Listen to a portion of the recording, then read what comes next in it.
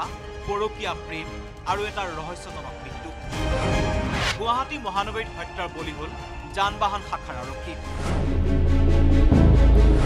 আৰক্ষী জোৱানজনৰ ভাতৃৰ অভিযোগ প্ৰেমিকৰ সৈতে লগ লাগি হত্যা কৰিলে পত্নীয়ে। ঘটনাক লৈ গীতানগৰ আৰক্ষীৰ নিৰ্লিপ্ত ভূমিকাৰ অভিযোগ। এফ আই আৰৰ কোনো মানে একশ্যনো লোৱা নাই। ৰিচিভ কপিও দিয়া নাই আৰু কেছটো ৰেজিষ্টাৰো কৰা নাই। মই পৰহিলৈকে যাই আছিলোঁ। পূৰ্বৰ এক ৰহস্যজনক ঘটনাই চাঞ্চল্যৰ সৃষ্টি কৰিছে গুৱাহাটী মহানগৰীত। পৰকীয়া প্ৰেমিকৰ সৈতে মিলি পত্নীয়ে হত্যা কৰিলে আৰক্ষী স্বামীক। কিন্তু ঘটনাৰ আঁৰত আছিল কি? জালুকবাৰী যান বাহন শাখাৰ আৰক্ষী খগেন বৰ্মন অম্বিকাগিৰি নগৰত ভাড়াতীয়া হিচাপে আছিল।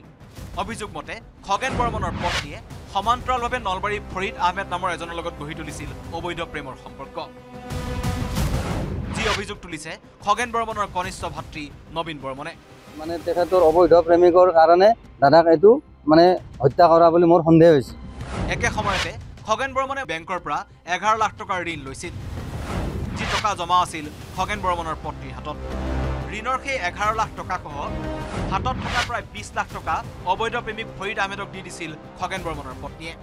ইয়াকে লৈ হাবিলদাৰ খগেন বৰ্মনৰ সৈতে সংঘাত হৈছিল পত্নীৰ। কাজিয়াত লিপ্ত হৈ অবৈধ প্ৰেমিকৰ হাতৰ পৰা বিছ লাখ টকা ঘূৰাই আনিবলৈ নিৰ্দেশ দিছিল পত্নীক।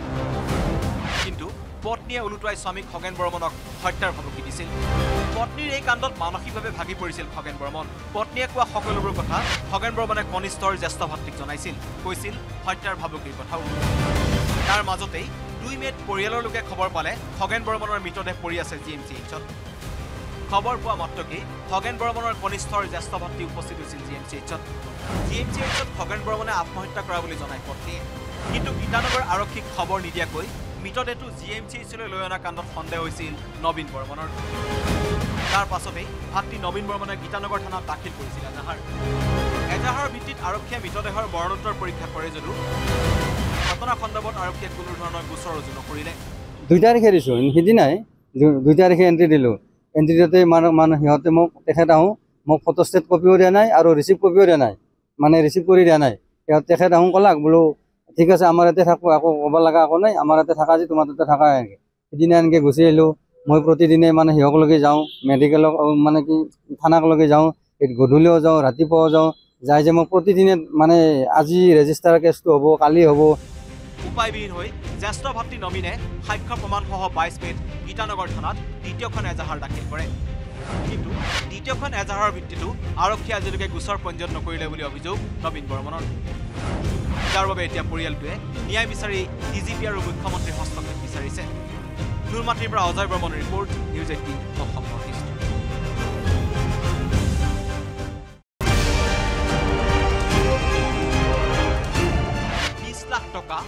পৰকীয়া প্ৰেম আৰু এটা ৰহস্যজনক মৃত্যু।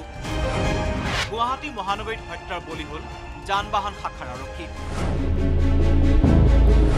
আৰক্ষী জোৱানজনৰ ভাতৃৰ অভিযোগ প্ৰেমিকৰ সৈতে লগ লাগি হত্যা কৰিলে পত্নীয়ে। ঘটনাক লৈ গীতানগৰ আৰক্ষীৰ নিৰ্লিপ্ত ভূমিকাৰ অভিযোগ।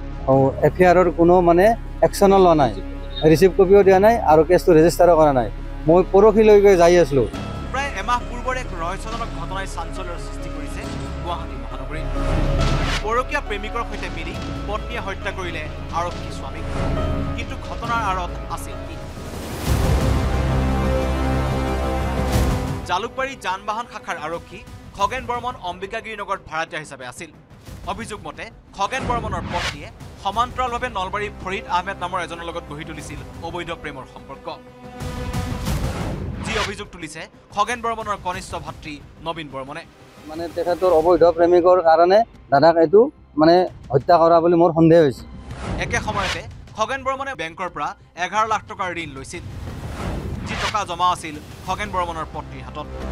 ঋণৰ সেই এঘাৰ লাখ টকাসহ হাতত থকা প্ৰায় বিছ লাখ টকা অবৈধ প্ৰেমিক ফৰিদ আহমেদক দি দিছিল খগেন বৰ্মনৰ পত্নীয়ে। ইয়াকে লৈ হাবিলদাৰ খগেন বৰ্মনৰ সৈতে সংঘাত হৈছিল পত্নীৰ। কাজিয়াত লিপ্ত হৈ অবৈধ প্ৰেমিকৰ হাতৰ পৰা বিছ লাখ টকা ঘূৰাই আনিবলৈ নিৰ্দেশ দিছিল পত্নীক। পত্নীয়ে ওলোটাই স্বামীক খগেন বৰ্মনক হত্যাৰ ভাবুকি দিছিল। পত্নীৰ এই কাণ্ডত মানসিকভাৱে ভাগি পৰিছিল খগেন বৰ্মন। পত্নীয়ে কোৱা সকলোবোৰ কথা খগেন বৰ্মনে কনিষ্ঠৰ জ্যেষ্ঠ ভাতৃক জনাইছিল। কৈছিল হত্যাৰ ভাবুকিৰ কথাও। তাৰ মাজতেই দুই মে'ত পৰিয়ালৰ লোকে খবৰ পালে খগেন বৰ্মনৰ মৃতদেহ পৰি আছে জি এম চি এইচত। খবৰ পোৱা মাত্ৰকেই খগেন বৰ্মনৰ কনিষ্ঠৰ জ্যেষ্ঠ ভাতৃ উপস্থিত হৈছিল জি এম চি এইচত। জি এম চি এইচত খগেন বৰ্মনে আত্মহত্যা কৰা বুলি জনাই পত্নীয়ে। কিন্তু গীতানগৰ আৰক্ষীক খবৰ নিদিয়াকৈ মৃতদেহটো জি এম চি এইচলৈ লৈ অনা কাণ্ডত সন্দেহ হৈছিল নবীন বৰ্মনৰ। তাৰ পাছতেই ভাতৃ নবীন বৰ্মনে গীতানগৰ থানাত দাখিল কৰিছিল এজাহাৰ। এজাহাৰৰ ভিত্তিত আৰক্ষীয়ে মৃতদেহৰ মৰণোত্তৰ পৰীক্ষা কৰে যদিও ঘটনা সন্দৰ্ভত আৰক্ষীয়ে কোনো ধৰণৰ গোচৰ ৰুজু নকৰিলে। দুই তাৰিখে দিছোঁ সিদিনাই দুই তাৰিখে এণ্ট্ৰি দিলোঁ। এণ্ট্ৰি দিওঁতে মানুহ সিহঁতে মোক তেখেত আহোঁ মোক ফটোষ্টেট কপিও দিয়া নাই আৰু ৰিচিভ কপিও দিয়া নাই। মানে ৰিচিভ কৰি দিয়া নাই।